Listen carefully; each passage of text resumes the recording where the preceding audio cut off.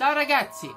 Ieri da Amazon ho ordinato un bell'oggetto tipico giapponese. Ho aspettato l'estate per ordinarlo. Si tratta del Furin. Apriamoli insieme. La cosa simpatica è che ieri l'ho ordinato e oggi mi è arrivato senza Amazon Prime. Ed eccolo qui. Che carino. Ci sono i gattini. Anche qui. Adesso non mi resta che appenderlo.